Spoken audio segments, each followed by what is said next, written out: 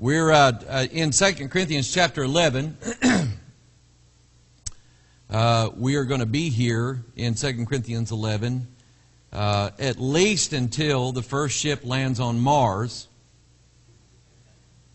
which means quite a while. And because um, there's just a lot packed into the whole chapter of 2 Corinthians 11, there's a lot of things packed in there that I think are timely for the day that we live in. We live in a day of mass deception. Okay? Mass deception. In the days uh, of, like I say, the 1800s, there was an explosion of false doctrine. Uh, you have Joseph Smith and the Mormon Church. You have Charles Taze Russell and the Jehovah's Witness cult. You have um, Mary Baker Eddy with Scientology. You have um, uh, Crowley, you have um, Alice Bailey, you have uh, Helena Blavatsky, you have a lot of occult writers out there publishing books everywhere, and there's just an explosion of false doctrine, false teaching, false preachers, and whatnot. Um, in the age of the internet, those false doctrines, I would say, pale in comparison to some of the strange things that are coming out now over the internet. Anybody that's got any kind of weird, wacky gospel or weird doctrine or whatever, they now have a voice by way of Facebook, Twitter, any kind of social media, YouTube. I mean, anybody can put up a website nowadays. And it's just, I mean, it's that easy to disseminate false doctrine. And um, I, I am of the firm idea that if you will ground yourself with the belief that every word of God is true right here in front of you, and you'll arm yourself with that, that's your shield of faith. You believe what the Bible says, not what man says. Not what man says the Bible says, but if you believe what the Bible says, then you are armed and you are ready for that onslaught of false doctrine. And um, let me just say this by way of introduction. I will never forget one day I was uh, pastoring out of Richwoods, and uh, my habit was on Saturdays when I studied for the message for Sunday because I worked all week. And, uh, and I was studying for the message on a Saturday afternoon, and the Jehovah's Witness came by my house. And they knocked on the door, and I talked with them a little bit, and I thought I was armed and ready for them. And they handed, they, you know, stretched their arm out with their literature. And I thought, well, I'm just going to take that so that nobody else gets it. Okay? I don't encourage you to do that. They're going to print millions more. They're going to outprint you by the millions. Okay? So if you think you're going to take that so somebody else can't have it, they're going to make more. Okay? They got whole stacks of them. I took it and I didn't really, I, I, I thought I decided I was going to read it so that I could figure out how they work and how they manipulate people. And I started reading through this thing, and by the time I was about two thirds of the way through, I was thinking in my mind that Jesus wasn't God and there was no Godhead. Okay? Be- because their literature is that slick. And I had to stop. And I put it down and I started praying. I said, God, you protect me from this. You protect me from this. And after I prayed and I went back to the Bible and read some scriptures, and that helped a little bit, then I started, I started discerning how they were getting this to you. They were quoting Bible scholars that were not Jehovah's Witness. They were saying, Dr. So and so of such and such theological seminary said this. And I caught on that they were using liberal theologians that did not believe the Bible anyway. They were using liberal theologians to, that would say, nowhere in the four Gospels does Jesus ever admit to being God. That's a lie. It's a lie. But they're trying to make you think that your own church doesn't believe it anyway. They're trying to make you think that Christianity never believed it. They're trying to get you to think that the real right doctrine is the one that they're teaching. And so after, after kind of discerning a little bit how they worked, I took that literature and I tore it up and I threw it away. Because I, I didn't want it no more. I didn't want anything to do with it anymore. And I'm going to encourage people out there. Because some of you on the internet, you're researching a lot of things you should probably stay away from. You think that you're good enough and you're sound enough to be able to fend off false ideas and false doctrine. Unless you're absolutely 100% sure that you are, I'm going to tell you stay away from a lot of this stuff on the internet because it is stealing away people's minds right and left. The devil corrupts minds. And he's been doing it a lot longer than you've been alive.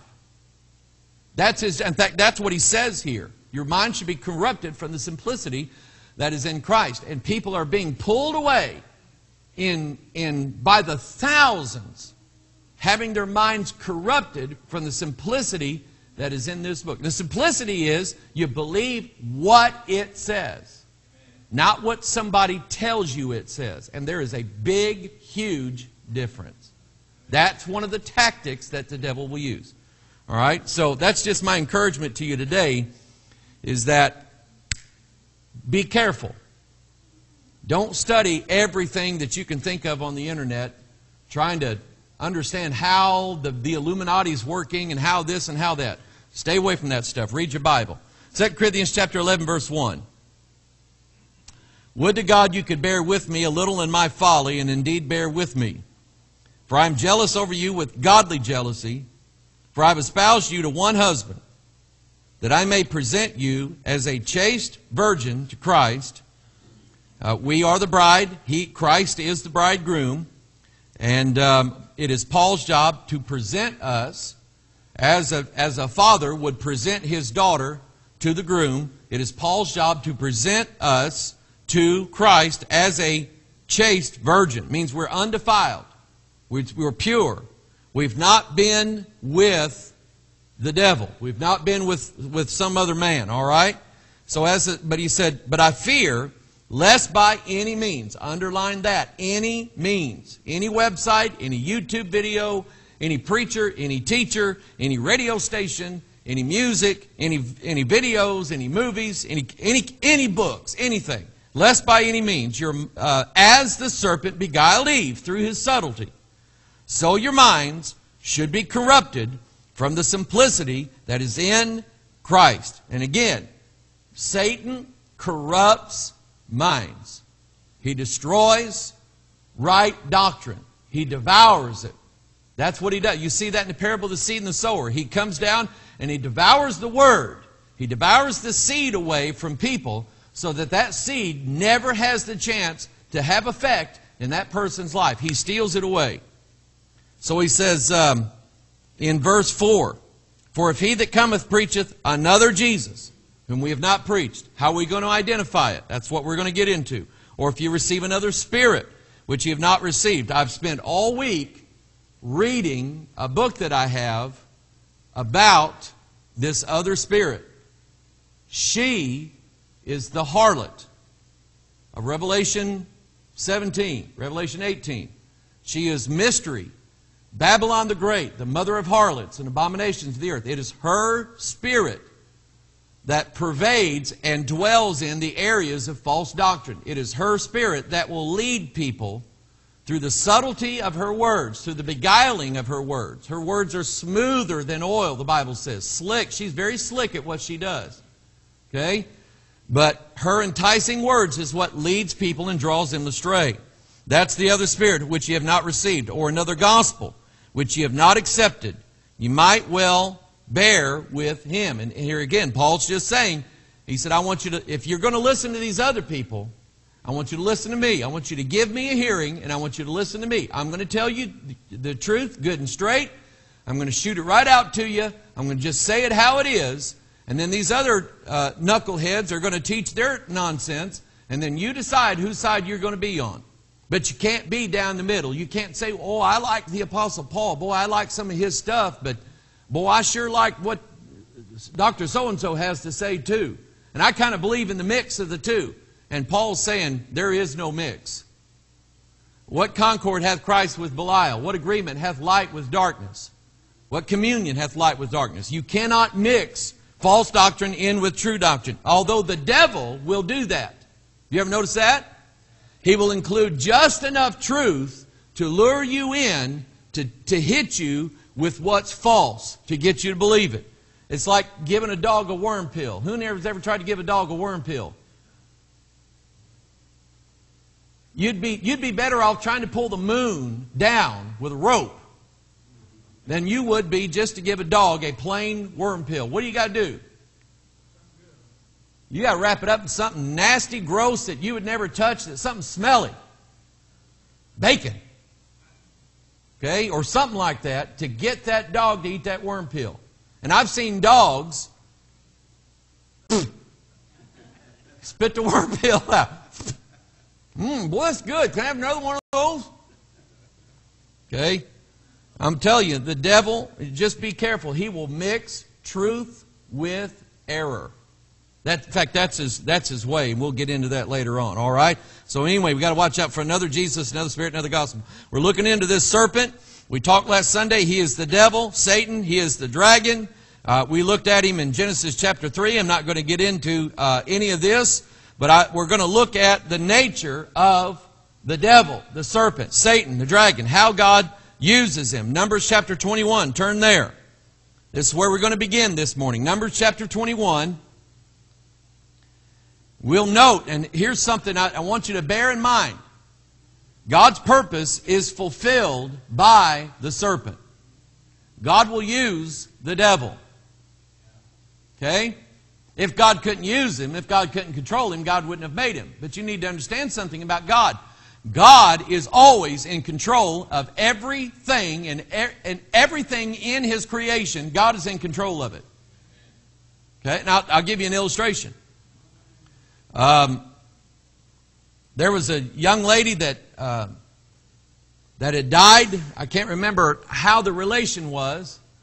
Uh, Sister Waymire was telling me about it, and um, she was about 11, 12, something like that, and she died in her sleep, just natural causes. That didn't have a reason for her to die. She just died in her sleep. And she had gone to three different churches in her life, so they had three different preachers preaching the message. Uh, Brother Jim Waymire over here at Second Baptist, he was the one finished everything out, and I'm glad he did because he closed with the gospel and he was giving people an invitation to accept Christ. At one time, she went to this charismatic, word faith, name it, claim it type church, and I was familiar with a lot of their teachings. But I, I was standing in the back. It was at a Vineyard Funeral Home, and they got a little room where the organist piano player plays. Judy Huey was sitting back there, and I was going to sing a song. So I was back there with her, just kind of behind the scenes. And I, this guy got up, and my jaw just fell out of my head when he said this. His, his, he, and they teach this that God lost planet Earth when Adam sinned, and God's sitting up in heaven wondering how he can get custody of the earth back, and the devil's in charge of everything, and God can't do anything until you release God to, to come against the devil. And this preacher said to this room full of people that God lost a battle when this young lady died, and he lost a battle to the devil. The devil won this thing when this young lady died. And I'm just back there. I wanted to jump through that little curtain and strangle him and tell everybody, don't listen to this idiot. That's the idea that the devil's more powerful than God until you release God. Listen, God's not on my leash. Amen. God's not on my leash. He's not my servant. He's not my little go getter. All right? But anyway, that's the idea. God, the devil doesn't use God. God will use the devil for his purposes. Let's read this. Numbers 21, verse 4. And they journeyed from Mount Hor by the way of the Red Sea to compass the land of Edom, and the soul of the people was much discouraged because of the way. Underline that in your Bible because you will hit that spot in life. You will hit the place where you are much discouraged because of the way. It is a they're following the pillar of cloud. They're following God. And yet God leads them through hard ways. Why does God do that? Okay? There's some people, listen to me now, there's some people who are fake Christians. I don't know if you believe that or not. There are some people who are fake, phony, quote unquote followers of Jesus that just like the parable of the seed and the sower says, when the sun comes out and it gets hot and, and it gets hard, they pull back and fall away and they say, Well, I, this, I'm not going to do this. This wasn't in the deal. I didn't know it was going to be hard like this. That preacher told me that I'd just name it and everything would just come to me, and I thought that was going to be easy. Okay? So, anyway, they were discouraged by the way. Verse 5 And the people spake against God. This is why I'm telling you this. Be careful when you get discouraged. Be careful about speaking against God. Watch yourself. Watch what you say about God. Watch what you say to others about Jesus. Watch the attitude that you have concerning God's Word. Don't speak out against it. So they spake against God and against Moses. Wherefore have you brought us up out of Egypt to die in the wilderness? For there's no bread, neither is there any water, and our soul loatheth this light bread. What was that light bread they were referring to? Was that hostess? Huh? The manna. The very bread from heaven that God gave them. Do you know these same people, when the real bread from heaven came down to them, did you know that they loathed him too? Same people. Same people. Hardest, meanest people in the world are the Jews, and yet God loves them. You ought to love them too. Amen. You ought to, you ought to pray for them. So anyway, our soul loatheth this light bread. You know that that is a type of the church crowd who says we don't believe God everything God does is in the Bible. So we're going to things and we're saying God does it, and it's outside of the Bible. And we don't really follow the Bible. And I've heard people tell me, people have told me that they have heard people say this. That people that would say that they have gotten so much and so high in the Spirit that they don't need the Bible anymore. That's a danger, that is a shipwreck waiting to happen. Okay? What's that song we sing? I need thee every hour, most precious Lord. But I, that's, that's the idea. People don't need the churches, don't need the Bible anymore. And um, I've heard preachers talk all week, and things that they've heard, people will say that from other pastors that they don't, they don't preach out of the Bible much anymore because this younger crowd wouldn't understand it. It is fooey on that. They wouldn't understand it. So we don't use the Bible terms. We use all these other terms out in the world, and we talk about other things out in the world and how they relate to God. But people wouldn't understand the Bible, so we don't give it to them anymore. Their soul loatheth this light bread. Okay, now you watch this. This setting it up here. So we'll look at what happened in verse 6. And the Lord sent fiery what? Serpents among the people, and they bit the people. And much people of Israel died. I want you to think about what it is that happened with them. The serpent opened their mouth against those people. Two things come out of the mouth poison and poison.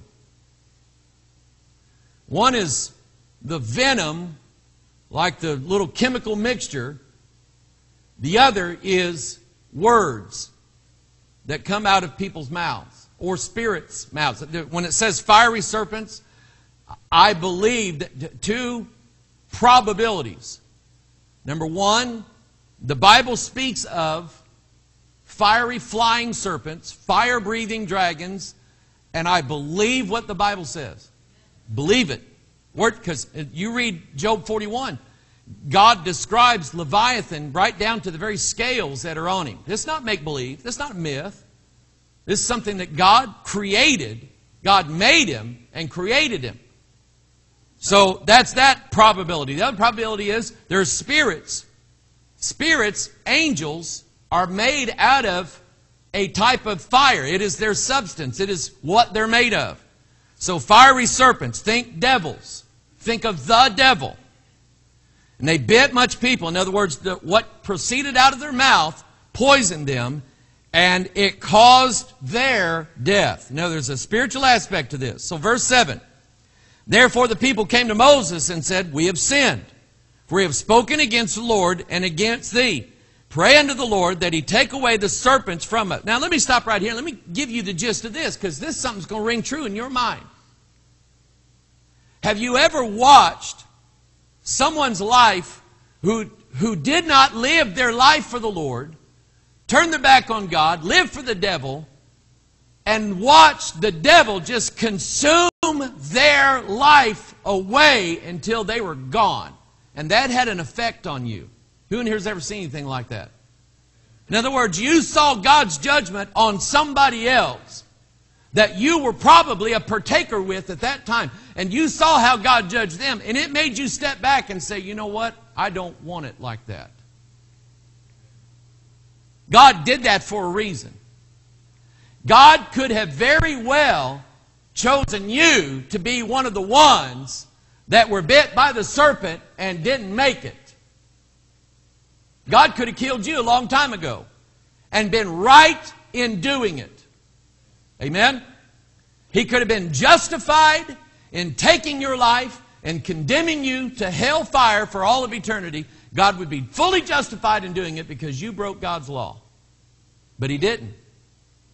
But God allowed you to see the judgment of other people, and it caused you to stand back and say, I don't want any part of that.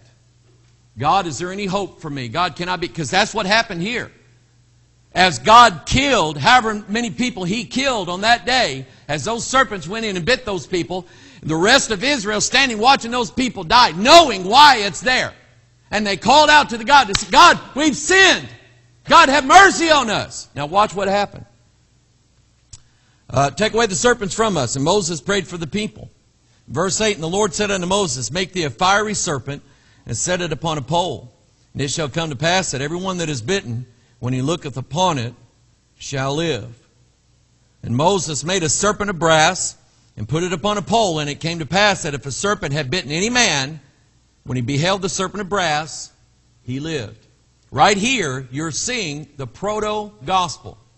You're seeing a, a foreshadowing of Jesus Christ. Now, let me explain something to you. And I, it's a question that I asked God years ago. Because I'm looking at this and I'm going, wait a minute. I know Jesus said, as Moses lifted up serpent, we're going to go. In fact, go ahead and turn to John 4. And I said, I asked God, I said, God, does that mean that Jesus is the devil? No. Doesn't mean that at all. But in Colossians, the Bible teaches us that when Christ was on the cross, that he made a show of his enemies openly, triumphing over them in it, meaning the cross. That everything that you see portrayed there from the pages of your Bible concerning the cross and Jesus dying, the crown of thorns, the stripes that he had, the fact that they stripped him of his clothes, that means that he was bearing our shame Nudity is a picture of shame in the Bible. First thing that Adam and Eve realized when they sinned was what? They were naked. What happens to our children as we raise them? For a while, they run around the house naked. They don't care. Run around outside naked. They don't care. They don't have a problem in the world. But then, at some point in their, as their mind develops, all of a sudden now they realize they don't have any clothes on. And they're not just so happy running around naked. You can't get them out of the bathroom. Can't get them. Uh, uh, uh, close, close the door. Don't come in here. That's what they'll say. And I think it's that at that point in a child's development that they're starting to understand right from wrong because how it's related to sin. The age of accountability. And Christ bore our shame and reproach on the cross. And he showed forth his enemies that were against us made a show of them openly by nailing them to the cross. In other words, when he died, he destroyed them. So Jesus said in John 3, he's telling this to Nicodemus, and this is right before John 3:16. He says in verse 14, as Moses lifted up the serpent in the wilderness, even so must the Son of Man be lifted up, that whosoever believeth in him should not perish, but have eternal life. Now Jesus made a show of the devil in himself nailing him, having himself nailed to the cross, showing the defeat of Satan in the last days. Okay? Showing the defeat of Satan and his power over you at the cross. That's what he did. That's why he said what he said. It's type, it's, he's, he's showing the typology of Satan being defeated. Now, watch this. Back in uh, Numbers chapter 21, Moses is the one who builded the serpent and made the pole, made it out of brass, and lifted it up there. And Moses, God told Moses, tell the people this, if you get bit, look upon this, and when you look upon it, you will live. Now, the people who hear that, they've got a choice. They can either refuse to believe that it's that simple and perish, or they can believe in the simplicity that is in Christ. And are, are you telling me I've got bit by the serpent and I got poison running up my leg right now? It is minutes away from my heart. Are you telling me that all I have to do is look upon that serpent on that pole and I will live? That's what I'm telling you. It's that simple. It is that simple, and it kind of makes you wonder why people won't do it. Because we tell people the gospel believe on the Lord Jesus Christ, thou shalt be saved. It's that simple. And yet, millions refuse to do it. They won't do it because their minds have been corrupted from the simplicity that is in Christ Jesus. Do you see that? I mean, it's that simple. Look on that serpent and you, look and live, my brother, live. Look to Jesus now and live. Okay? It's that simple. And yet, these people, they've got a choice. They can look on that serpent and be saved, live from being poisoned, or they can refuse to believe that and say, I don't believe that kind of nonsense. I'm a self made man. I'll heal myself. Did you know that there's people out there, there are churches and, and false doctrine out there on YouTube and everywhere else where people are, are in, in a sense, telling everybody it is up to you to heal yourself from your sin problem. It is up to you to change your mind and your life and to change your habits and to change all your thinking and to change all your ways. It is up to you to do this. And if you don't do this, then you won't be saved. If you won't change yourself, then you won't be saved. And there are people out there who are telling that kind of stuff when the truth of it is, I know beyond any doubt whatsoever that I have zero ability to change my life. I've tried it, been trying it, keep trying it. And I can tell you that the changes that have been made in Mike Hoggard since his birth have all been made by God, not me. Why? Because I just believed how simple it was to say, God, will you change me? God, please remake me. David's prayer uh, create in me a clean heart, O God, and renew a right spirit in me. David was not telling God, God, I promise that I will never look on another woman ever again. That is not what David said. David realized that he could not make that promise to God, and neither can you. You're not capable of it. God is the one who makes the change. God is the one who brings the healing from the serpent bite. Amen? Now, turn your Bible to um, Deuteronomy 32. Let me show you. We're going to talk about the, the poison this morning. The devil's poison. What is that? What is this? What was the poison that came out of his mouth? If we were to, I'm not going to have you do that, but if you remember from Genesis 3, here's the serpent in the garden, and he does not bite Eve. That serpent in the garden, and remember, this is what this is about. As the serpent beguiled Eve through his subtlety, the serpent in the garden did not bite Eve and inject poison into her that caused her to go eat that fruit. But it's the same kind of poison, and it came out of the exact same place. It came out of his mouth. Words can be just as much poison, if not more poisonous, certainly than any serpent in the state of Missouri. I'm told that there is not a snake in the state of Missouri whose bite absolutely means you're, you're dead. Okay? It'll make you sick. Now, I'm not sure if I trust that. That doesn't mean that I feel confident enough to go handle snakes. Okay? But, I, you know, we don't, there are snakes that are far more poisonous in this world than the ones we have in Missouri. I'll say it that way. Okay?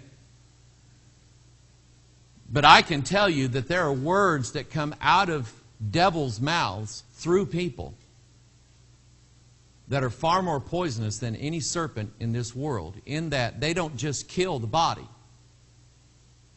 they kill the soul. Deuteronomy 32, verse 24. They shall be burnt with hunger, devoured with burning heat. This is God's judgment upon the people who will not listen and, and keep his laws, and with bitter destruction.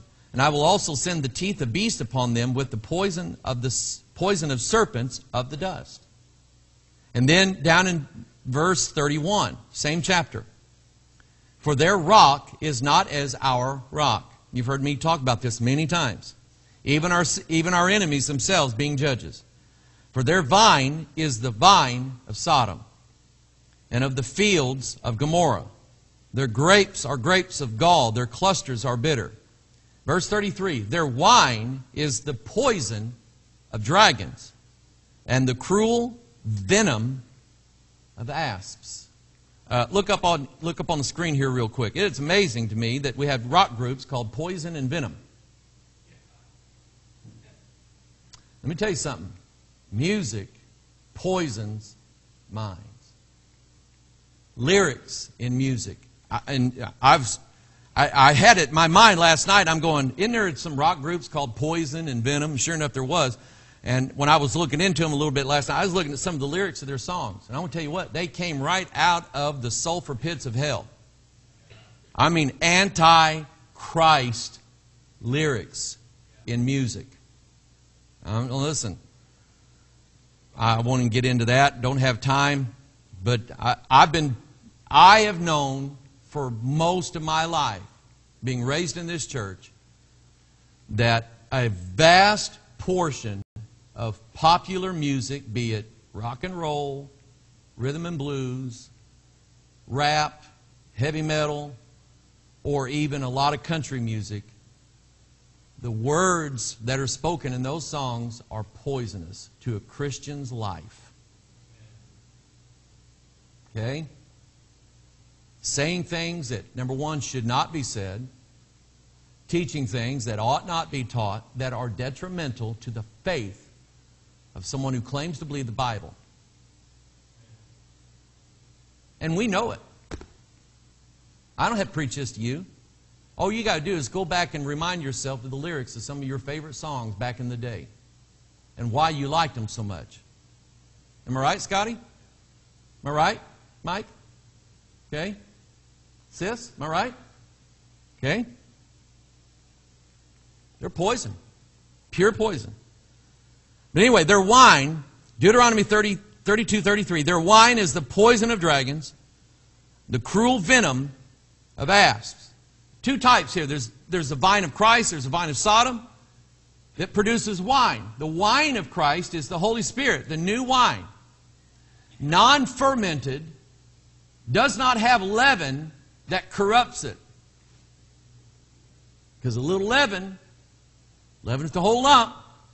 It's leaven in the grape juice, yeast, that devours the sugar out of the grape juice and releases methyl alcohol into that grape juice and brings drunkenness.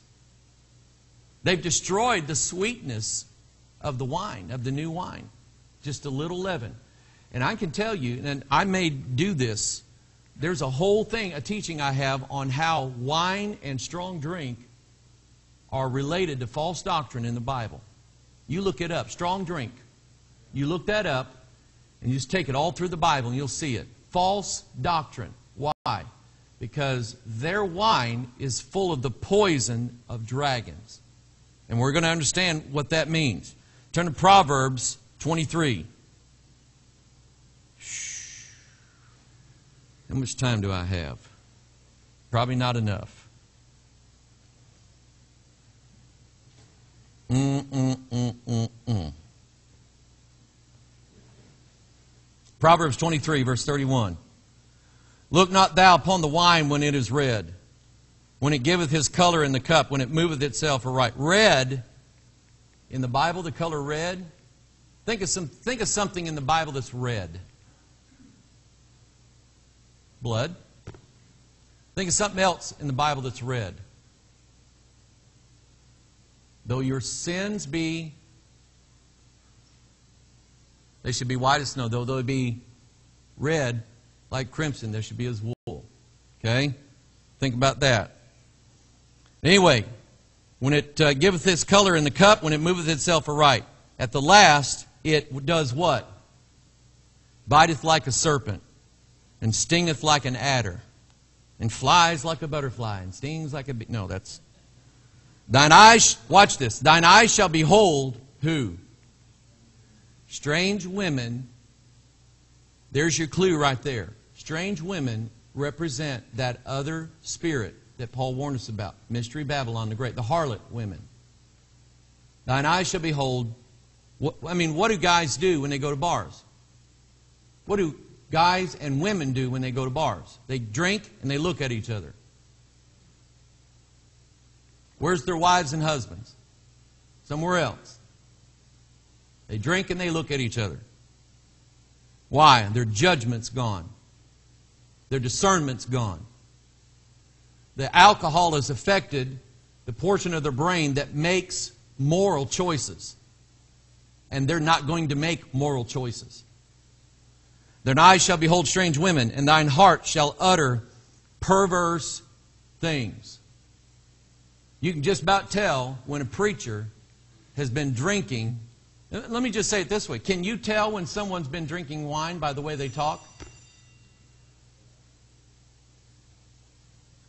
Also, you can tell when a preacher, a prophet, a priest, religious leader of some kind has been drinking from her wine, from the poison of dragons, by what comes out of his mouth. You hear the doctrines, you hear the teachings, and they're perverse. They are perversions of what this book says. And that's how you know that that person has been drinking from the wrong cup of wine. Okay? That was the bell. Well, we're going to pick it up here next Sunday. Study strong drink. Study wine. Study strong drink out of the Bible. All right? Did Jesus, didn't Jesus make alcoholic wine? No. Jesus drank wine. You know people do that? You know people that say that? You know what they're looking for? A reason to drink. That's all they're doing. Looking for a reason to drink. I've heard it, I've heard it all before. I take a very strong stand against alcoholic beverages. And always will. You want to justify it, you go ahead. But don't use the Bible to do it because you can't. Father in heaven, teach us right ways, O God. Give us a right heart, a right attitude. God, we cannot, I, Lord, I, I cannot change myself. I've tried, tried everything I can think of. Can't do it. God, you've changed me. You've made the right changes in my life, Lord, to make me what I am. So, Father, all the praise and all the glory goes to you. Lord, teach us your ways. Teach us, Lord, to avoid this other spirit, to be careful about the wiles of the devil, about how he works, how he affects people's lives, and the poison, God, that comes out of his mouth that will kill us, not just in a limited way physically on this earth, but kill us everlastingly.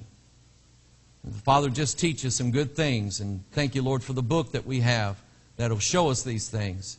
Bless and honor your word today, we pray in Jesus' name. All of God's people said, Amen. Amen.